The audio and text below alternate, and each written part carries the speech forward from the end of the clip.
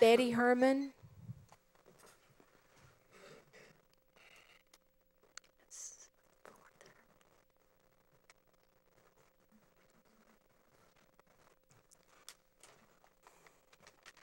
I'm Betty Herrmann, and I live at 364 Herrmann Trail in the county.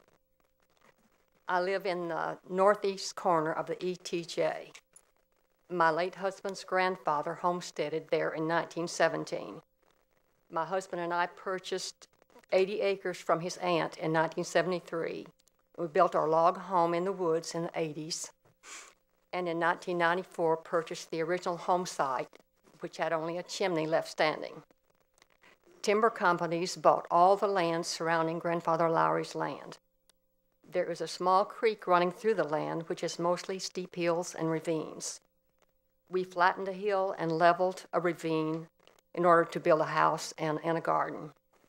When it rains, the um, uh, water makes its way down the, the hills to the creek. There is almost no flat land on the property. My husband spent many happy hours with his grandfa- grandparents when he was a boy. It was always his dream to come back to Arkansas and build and share the land with our sons. After my husband's death more than two years ago, I became the trustee of the, of the family trust. The land is, is to be divided uh, among our, our sons. Because we are two miles from the nearest public road, after I'm gone, there will be no way that my heirs can comply with the city subdivision code. Thank you. Thank you.